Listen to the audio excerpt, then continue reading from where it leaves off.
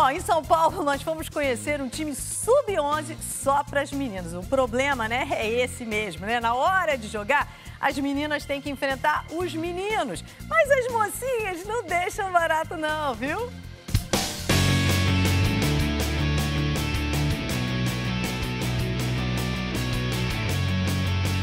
Elas têm um sonho, assim como quase todo menino que nasce no Brasil. Eu queria ter o sonho e jogar na seleção brasileira. Ser a número 10 do Brasil. E disputar uma Copa do Mundo também. Eu quero seguir carreira, quero jogar uma Copa. A bola é a mesma, a chuteira e o joelho ralado também.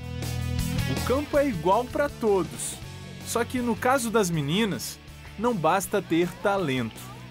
Minha mãe não queria que eu jogasse bola. Minha mãe tentou colocar eu no balé, na natação. Ela me dava boneca de presente, eu, eu arrancava a cabeça dela e jogava futebol. Ela falava, vai filha, você não pode jogar bola, você tem que ficar no balé. Eu falei, não, eu tenho que jogar bola sim.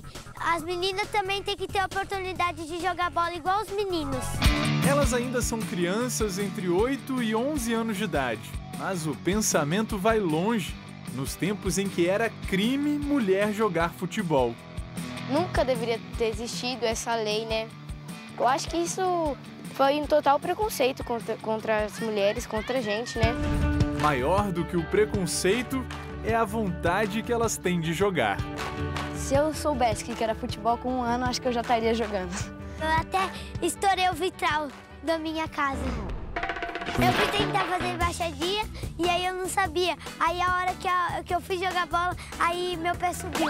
Aí pegou no vitral. Giovana é a caçula e, por que não, a melhor jogadora do time.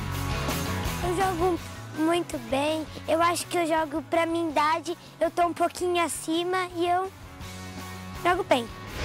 Essas mini craques são jogadoras do Centro Olímpico, o único time sub-11 do futebol feminino de São Paulo.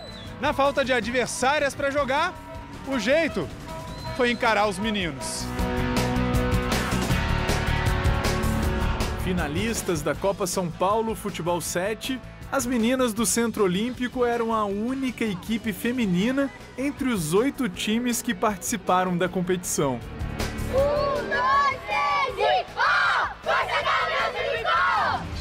Na decisão, elas reencontraram o time da escolinha de futebol do Santos. Eu já ganhou 2 a 1 um delas. Mesmo rivais, os meninos reconheceram que as adversárias, estreantes no campeonato, não chegaram à final por acaso. Elas jogam muito bem. É, uma dá o chute muito bom. Ninguém dava valorização pro time das meninas. Agora sim dão. E sabe aquela história dos pais que não querem que as filhas joguem futebol? Foi só a bola rolar para eles mudarem de ideia.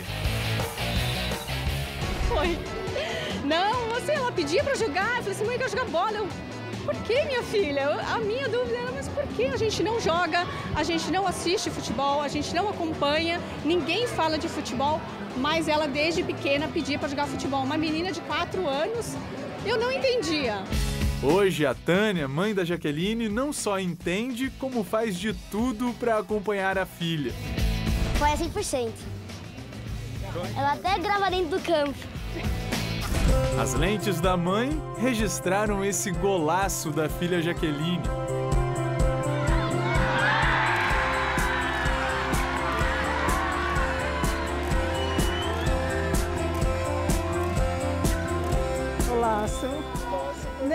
Falar, senão já começa a chorar.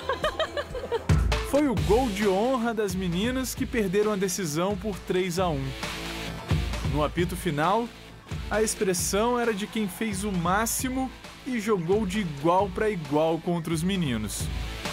Eu tava criando expectativa, eu, eu tava feliz, mas é difícil, mas tem que seguir. Então, Seguir como as meninas da seleção que estão lá na França, contra tudo e contra todas, em busca do inédito título de campeã do mundo. Muitas até falam, ah, minha primeira Copa que eu tô assistindo, as meninas do Sub-11 falam, minha primeira Copa feminina que eu tô assistindo. E, nossa, que legal, né? A menina tá vendo a Copa já com outro olhar. Por aqui é a alegria e a força de meninas como vocês que podem fazer o futebol feminino do Brasil chegar onde nunca chegou. Mesmo derrotadas, elas saíram de campo de cabeça erguida.